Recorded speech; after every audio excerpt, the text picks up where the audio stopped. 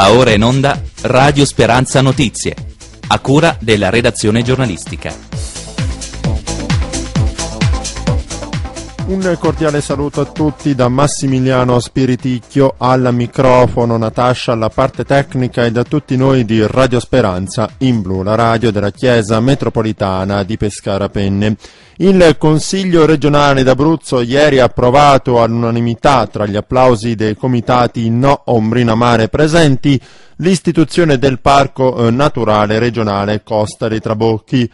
L'area protetta sorgerà in provincia di Chieti, tra il confine nord del comune di San Vito Chietino e quello sud del comune di Rocca San Giovanni. Si estende per 6 miglia marine nel tratto di mare prospicente i due centri del litorale frentano e il Comitato No Ombrina esprime soddisfazione per l'approvazione della legge che istituisce il Parco Marino Regionale Abruzzese, denominato Trabocchi del Chietino e Costa Frentana. Il voto del Consiglio regionale all'unanimità è avvenuto alla presenza, come si diceva, di alcune decine di attivisti del coordinamento. Non appena pubblicato sul bollettino ufficiale della Regione Abruzzo scatteranno le norme di salvaguardia transitorie che prevedono tra l'altro il divieto di modificare fondali ed elementi naturali all'interno del parco. E ieri la Giunta regionale ha approvato i progetti cui destinare finanziamenti per 69 milioni di euro per eh, completare il sistema idrico integrato.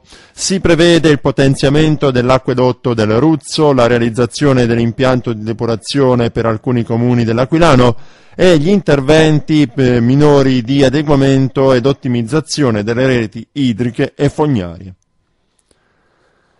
Favorire l'integrazione tra bambini di scuole e paesi diversi attraverso il gioco del rugby è stata la motivazione con cui il CONI, cioè il Comitato Olimpico Nazionale Italiano e il Ministero delle Politiche Sociali hanno premiato la Gran Sasso Rugby nell'ambito dell'evento Sport e Integrazione La Vittoria più bella. L'iniziativa della squadra, alla quale hanno partecipato 200 bambini provenienti dai comuni del cratere aquilano, vale a dire quelli più colpiti dal terremoto del 2009, è rientrata tra i cinque migliori progetti presentati dalle società sportive a livello nazionale.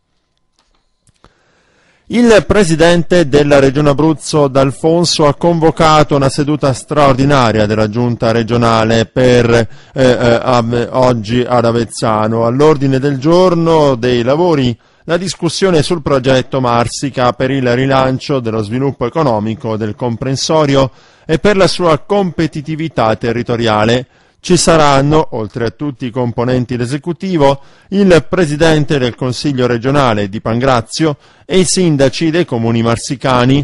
La seduta si terrà a Palazzo Torlonia alle 10.30.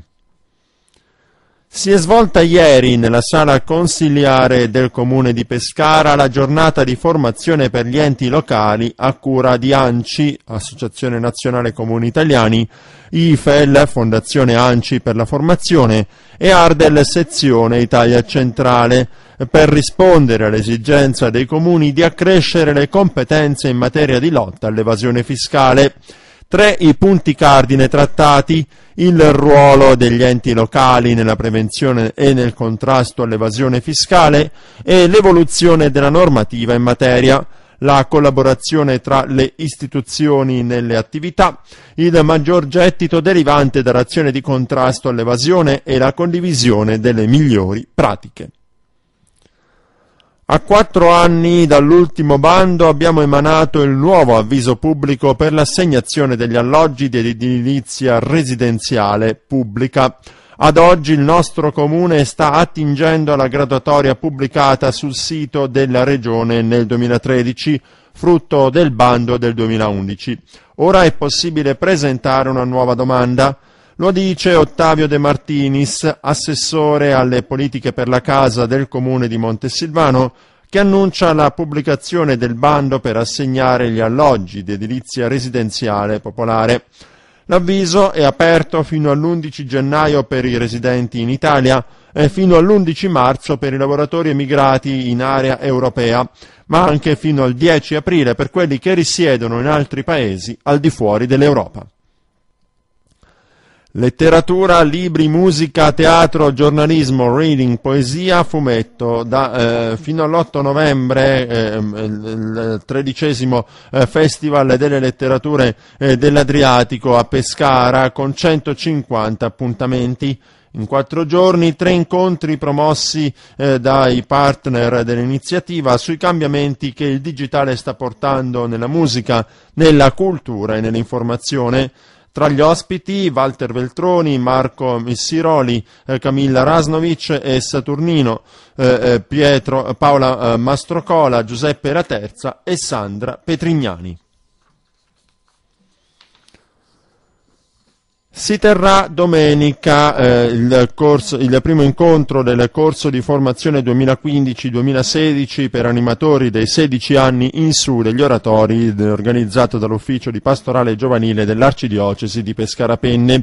Aspetti organizzativi e progettuali dell'oratorio saranno, saranno il, tema al centro dell'incontro in programma presso eh, la parrocchia del Cuore Immacolato di Maria dalle 15 alle 19 in Viale Vespucci a Pescara appunto domenica. Oggi è venerdì 6 novembre, la Chiesa celebra la memoria di San Felice, martire. Nella diocesi di Teramo Atri si celebra la commemorazione dei vescovi, presbiteri e diaconi che hanno esercitato il ministero in diocesi. La direzione, la redazione, la regia e tutti i collaboratori di Radio Speranza augurano buon onomastico a tutti gli ascoltatori che portano il nome di Felice, buon anniversario di ordinazione sacerdotale a Don Nino di Francesco e buon compleanno a Don Bruno Valente.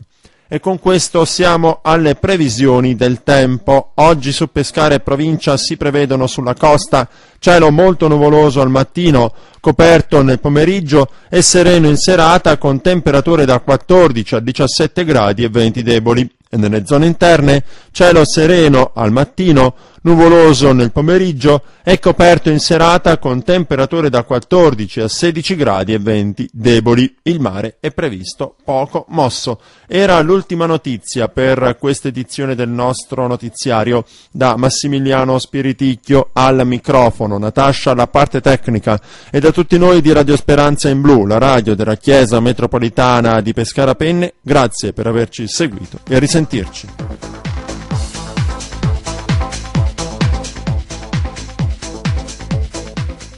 Abbiamo trasmesso Radio Speranza Notizie, a cura della redazione giornalistica.